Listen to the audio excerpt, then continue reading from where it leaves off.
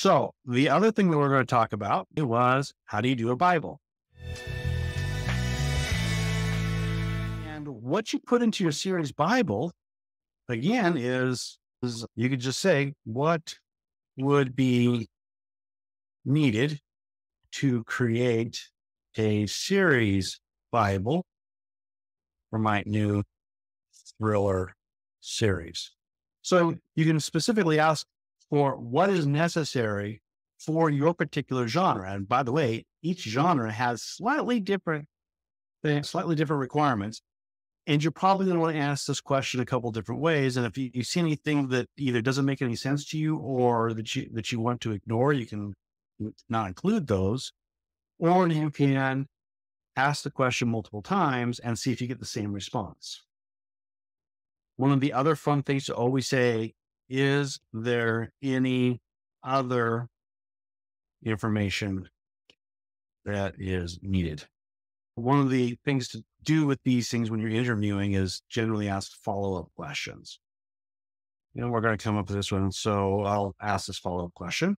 Let's see what it says for the thrillers. It says overall log line, series long line, series synopsis, describe the world which your series takes place, even if it's set on a modern day Earth and needs some specific aspects that are crucial to the story. Locations, provide the locations. Characters, main characters, background, personal traits, relationship arcs of things, supporting characters, antagonists, plot, season, the plot, the season and book summaries, episodes, chapter breakdowns, major arcs, subplots. If you're starting something brand new and you don't have anything at all, it, it's worthwhile to determine what you want to write, uh, do the keyword research, do the, if you got to do write to market, do some market research to find out what you want to do. Grab some examples. If you can get some series summaries or book summaries by scraping them off of the book descriptions in Goodreads or Amazon. And then also do your research to find out what you want to do. If you're a pantser and you have a bloody good idea, then go ahead and just write the first book or two. When you run out of bloody good ideas, that's when you can go back and analyze the individual books and then pull those things together and say, what's the common threads? What's, what is, what pulls these things together? And then, then ask it for su- some suggestions. You can also use the, the same methodology that Sudowrite uses for Story Engine, which is brain dump you could actually just dump a whole bunch of information in, in, into into one of the chat engines, and you can say, "I'm a fiction writer. I want to write a story that is based off of some X, Y, and Z ideas, and I want to create a series based off of this. Can you tell me what's necessary?" So you can say, "Okay, I'm I'm I'm a fiction writer. I want to write a series I need to create a series Bible for this series so that I, as a writing guide, my what I want to include are, and then just you know brain dump, and then say, then you can say, what can you create an initial Bible for me? In fact, we can even do that. So I'm going to put this into Typing Mind because Typing Mind will be a fun place to do this new chat, and I'm going to come over here my character selection. I'm going to create a new character, and I'm going to call this thing uh, series series Bible creator. Do throw that whole thing in there, and just click save. There we go. So now I have my series Bible creator. Now the series Bible creator needs something that can actually take the entire book.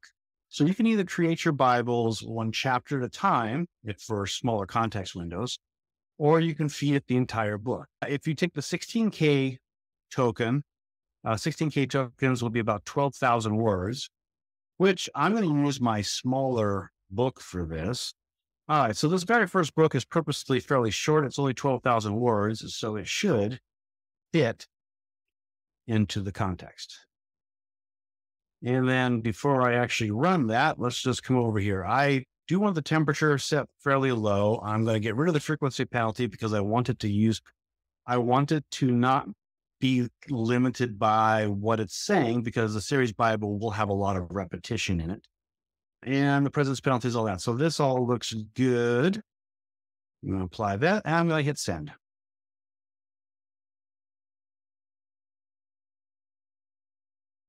I need to go to playground. So I have, and the reason I have to go to playground is I need the larger context window. With the main chat window, I can't possibly paste in as much as I wanted to consider. So what I'm going to do here is I'm going to, I'm going to get rid of this. I'm going to put in, I'm going to put in just the top portion of this, which is that it's meticulous literate analyst, deep understanding, stuff like this. And, and then we can go over here and say, I'm a fiction writer. I want to write a series of books based on the 19th pulp fiction detective genre. What would be needed for this genre in a series Bible as to be used as a writing guide? And I'm going to set the maximum length up to that one. I, again, I'm going to keep the temperature fairly low. I'm going to bump it up just a little bit, 0.8. And I'm going to go. So this is where I'm going to prime the prompt by saying what I want to write, because if you if you've already passed through it, you've got that. Okay, time to go to Claude. So I'm going to take this, go over to Claude, Yeah, start a new chat. There we go. Okay, so I'm going to yeah. So there we go. So I'm going to do that.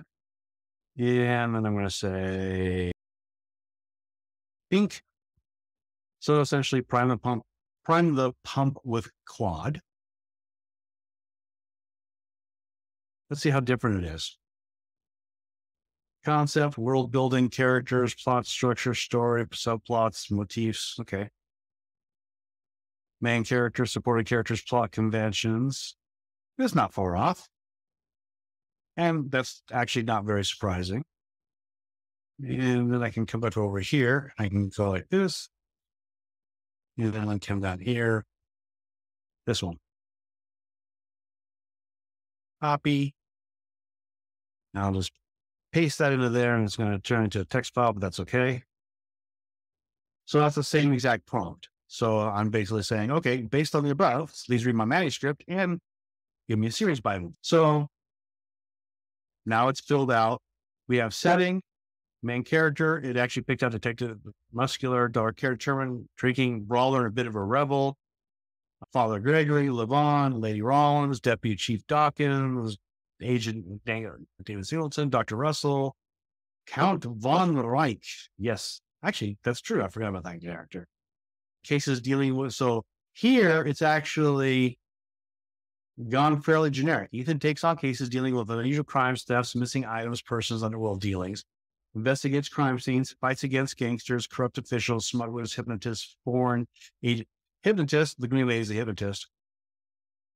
Themes, justice versus virtue, tone, hardboiled detectives, also That's a great way to get if you started. enjoyed today's lab i'm going to say thank you very much for coming all the way to the end of this video. I really appreciate your time and i appreciate that you've given it to watching this video and we're going through the lab. This is a fairly stereotypical lab for the future fiction academy. We do these things eight times per week which essentially means they go we've got a whole bunch of new content that is always constantly changing and they're always done live if you like this video, please make sure you hit subscribe, ring the bell, ask for notifications, do all the good stuff in life because that supports us without having any any further constraints on you.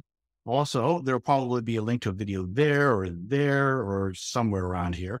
There's definitely some some links in the description down below because if you like this, come on over to the Future Fiction Academy and see what the whole lab looks like, as well as all of our previous labs. Hope to see you there. Have a fantastic day.